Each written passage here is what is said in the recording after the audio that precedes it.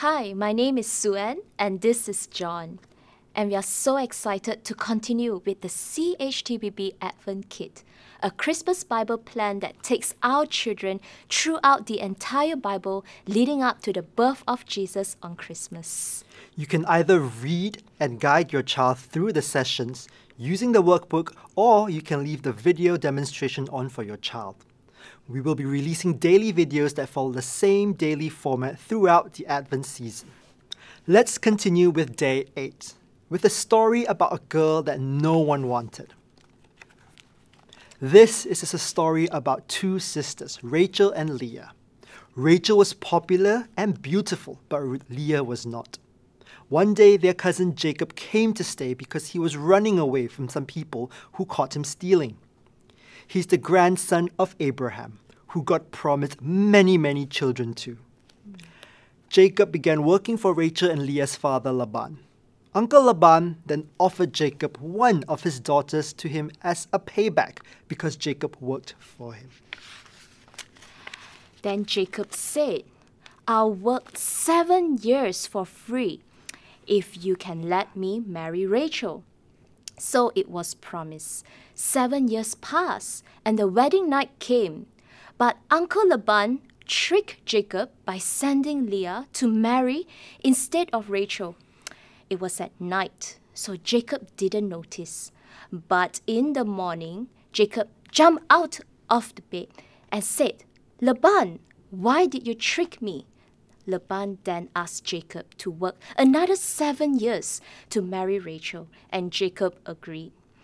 Rachel and Jacob married a week after Leah, and Jacob worked another seven years for Laban for free. Now he had two wives, but he loved Rachel more.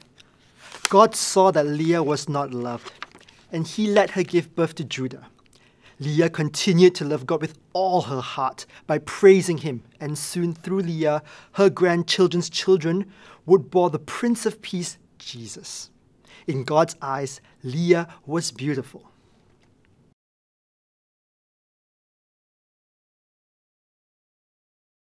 It's time for arts and craft now. So take out your booklet, the tin foil, and the Uhu glue from the Advent kit. Turn to page 21 of your Advent booklet, and in here you will find a paper mirror. Carefully take a scissors and cut out the paper mirror. Remember to leave both sides of the pieces still attached. Then color the handle and the frame of the mirror, but not the center.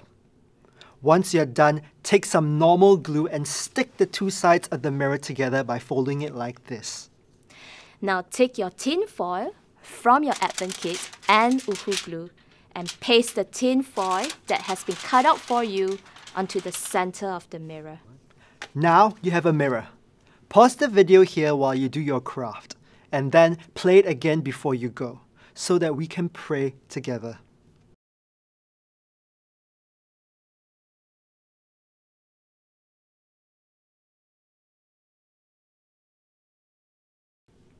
Welcome back.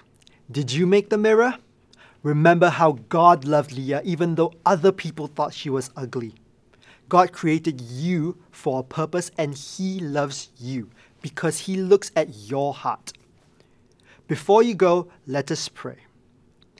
God, thank you for creating me like you did.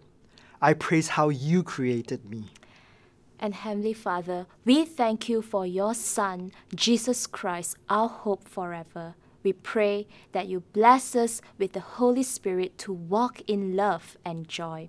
We pray that you bless us with hearts to praise you.